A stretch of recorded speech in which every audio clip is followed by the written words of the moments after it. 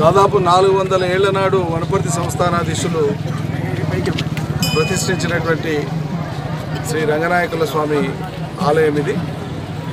ప్రతి ఏటా ఉత్సవాలు జరుగుతాయి. ప్రతి ఏటా రథోత్సవం నిర్వహింపబడుతుంది.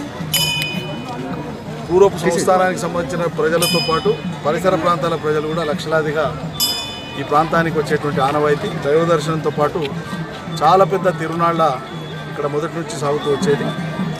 రైతాంగానికి అవసరమైనటువంటి వ్యవసాయ పనిముట్లతో పాటు పాడి పశువులతో పాటు ఇతర అన్ని రకాల వస్తువుల యొక్క క్రయ విక్రయాలు అనాదిగా జరుగుతూ వస్తున్నటువంటి పవిత్రమైన స్థలం ఇది. ఎప్పటిలాగే ఈ ఏడు ప్రారంభమైనటువంటి రథోత్సవంలో పాల్గొనడానికి వంశపారంపర్య ట్రస్టీ అయినటువంటి శ్రీ కృష్ణదేవరావు గారితో పాటు రథోత్సవంలో వాళ్ళు పాల్గొనడం జరిగింది. స్థానిక ప్రజాప్రతినిధులు అదేవిధంగా ఈ ప్రాంతానికి సంబంధించినటువంటి ప్రజలందరూ చాలా భక్తి శ్రద్ధలతో చాలా పెద్ద ఎత్తున ఇందులో పాల్గొని ఈ వేడుకను నిర్వహిస్తున్నారు. మధ్యలో ఈ ఆలయం ఉంది. చుట్టూ రంగ సముద్రానికి సంబంధించినటువంటి నీళ్ళు ఉన్నాయి. కృష్ణా నీళ్ళు అద్భుతంగా మలచబడినటువంటి ప్రాంతాన్ని రాబోయే రోజులలో గౌరవ ముఖ్యమంత్రి గారు సందర్శించనున్నారు.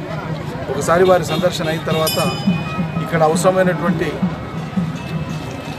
టూరిజానికి ఏ రకమైనటువంటి ఆకర్షణ ఉంటుందో దానికి అవసరమైనటువంటి ఏర్పాట్లను ఇక్కడ చేయించాలనేటువంటి సంకల్పం మాకుంది.